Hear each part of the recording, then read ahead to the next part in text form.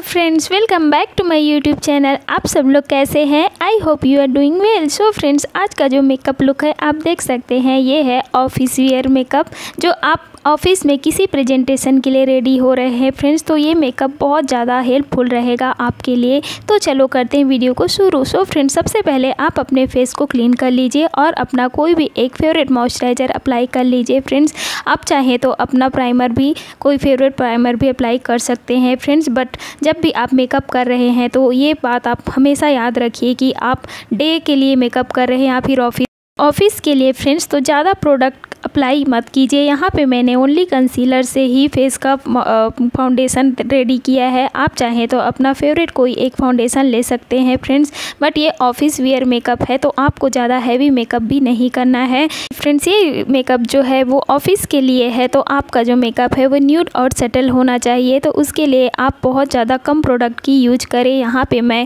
Fit Me का compact powder apply कर रही हूँ। आप चाहे तो कोई भी आप अपना फेवरेट कॉम्पैक्ट पाउडर या लूज पाउडर ले सकते हैं। फ्रेंड्स, आप इस तरह से मेकअप ब्रश से पाउडर ब्रश को लेकर इस तरह से अपने फेस को अच्छे से डैप डैप कर लीजिए। प्रोडक्ट आप देख सकते हैं। मैंने फाउंडेशन बहुत ज़्यादा कम अप्लाई किया है। फ्रेंड्स, यहाँ पे मैं हुडा ब्यूटी का ब्लसर ले रही हूँ। यहाँ पे ब्लसर आप अपने चीक में उतना ही अप्लाई कीजिए। फ्रेंड्स, जितना की नीड है। मैंने आपको पहले भी बताया है कि मेकअप में ज़्यादा ही प्रोडक्ट यूज़ मत कीजिए। बहुत ज़्यादा न्यूड और सटल मेकअप होना चाहिए।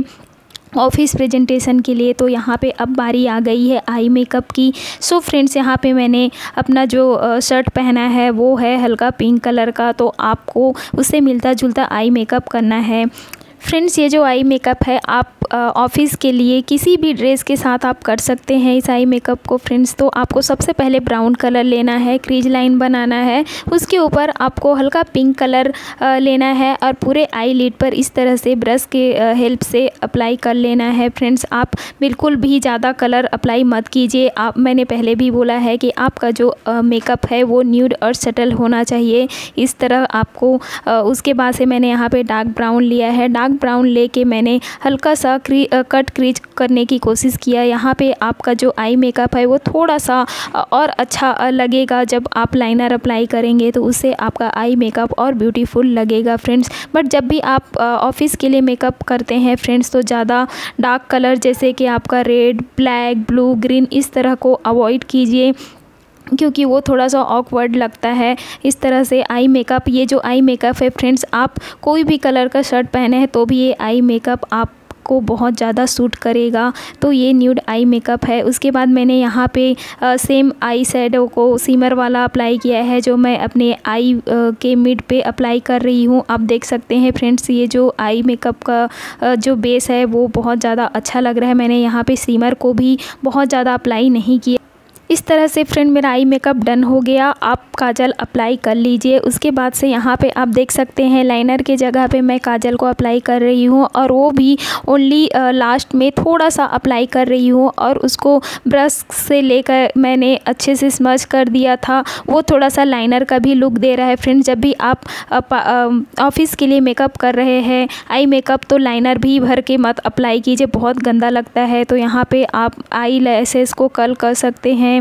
अगर आपके पास नहीं है तो भी आप अच्छे से इस तरह से मस्कारा को अप्लाई कर लीजिए। फ्रेंड्स यहाँ पे मैं हुडा मैक का मस्कारा अप्लाई कर रही हूँ। ये मस्कारा बहुत ज़्यादा अच्छा है। फ्रेंड्स बहुत वॉल्यूम है। इसमें इससे हमारा जो लेसेस है वो बहुत जल्दी से कल हो जाता है। आप देख सकते हैं आई मेकअप जो है वो डन हो गया है। इसके बाद आपका जो मेकअप है वो न्यूड और सटल लगेगा। फ्रेंड यहाँ पे मैं अपने आईब्रो को फिल कर रही हूँ फ्रेंड्स ये है ए डी एस का आईब्रो फिलर जो कि टेन या ट्वेंटी रुपीज़ में आता है। ये भी बहुत ज़्यादा अच्छा रहता है फ्रेंड्स अप्लाई करने के लिए। आपको ऑफ़िस के लिए ज़्यादा हाथ आईब्रो को भी फिल नहीं करना है। इस तरह से आप अप्लाई कर लीजिए और अपने हाथ की हेल्प से इसको अच्छे से मज कर दीजिए। इससे आपका आई मेकअप जो है, वो बहुत ज़्यादा अच्छा लगेगा। आईब्रो तो बहुत ज़्यादा नेचुरल लगेगा। फ्रेंड्स यहाँ पर एक छोटी सी टिप आपको शेयर करना चाहती हूँ कि जब भी आपका आई आईब्रो आपको लगे कि थोड़ा सा ज़्यादा हो गया है तो आप अपने ब्यूटी ब्लेंडर को लेकर इस तरह से उसको